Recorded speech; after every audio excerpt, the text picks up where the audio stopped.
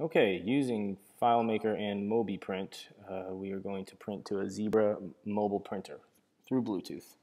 Um, so the first thing uh, you'll have to do is open up FileMaker. Um, we, in this example, are going to use uh, the OpenURL command uh, to pass the variables onto our, our uh, application. Okay, so um, this part uh, is always necessary. It has to be there.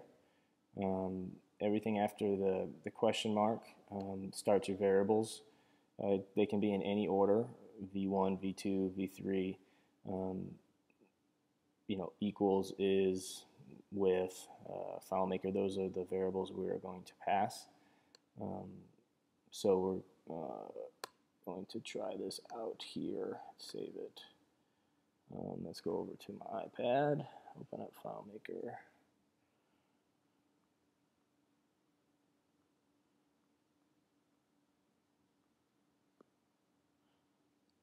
Okay, so this is uh, the application on FileMaker Go. Um, you see we just programmed uh, those variables from FileMaker and that's the button that we use. You see right here um, it, it, transferred over the variables um, and then it, uh, assuming that you have an attached printer already in our application you click print and out comes the print. So um, that doesn't do you much good if you're trying to print uh, from your tables in FileMaker.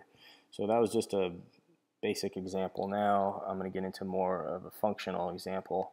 Um, in this case, uh, we have, um, and I've already copied the, the link in here to save some time, um, but you will see that I have programmed in dynamic tables.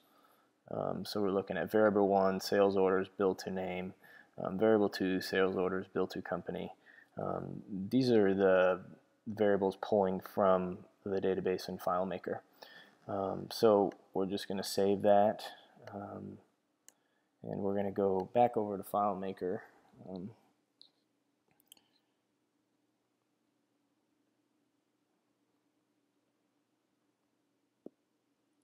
okay. Um, now, originally in FileMaker, you can produce nice PDFs um, like this, uh, and uh, but we have no way to print them out on a mobile. So the whole purpose of this uh, is to um, transmit that data over to our um, MobiPrint application to, to print out on a mobile printer. Uh, so there's the this arrow button that we've already programmed. Um, you'll see variable 2, variable 3, BP 260 Motor Parkway. Um, it's possible that the variable 1 just didn't have any data in that field, so it didn't uh, it ignored it. Um, so now, since those variables have been transmitted into uh, our application, we can um, import uh, some print format code uh, to match uh, what you already have existing, or if you want to create a new receipt. Um, and uh, we would select that in the setup.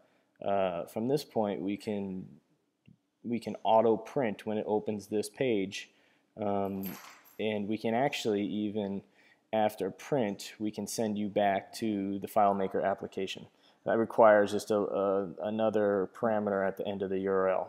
Um, but uh, let's show you how that works. So let's uh, check out the speed of the auto print. Go back to FileMaker. Of course, I have this login screen. Okay, um, so we're back in the same our same database application. We're going to click arrow, and uh, it should be auto printing. There it goes. So um, about a second to print and return to the application. So from this point now, you have the variables in the application. Um, printing with the stock label format just prints out uh, the variables um, in, in a column. Um, in order to customize your label format, you'll have to make some uh, print format code um, in Zebra Designer. Uh, and uh, when the placeholders that you need to use um, for each variable that you define in your original um, transmission is right here. So this is going to place variable 1 in this spot, variable 2 in this spot, all the way up to um, however many variables you're trying to pass, up to about 2100 characters. Okay, um, so that's how you define what where the variable print uh, goes on your label format. Okay. Any questions? Please shoot me an email, brent at arrowheadcorp.com.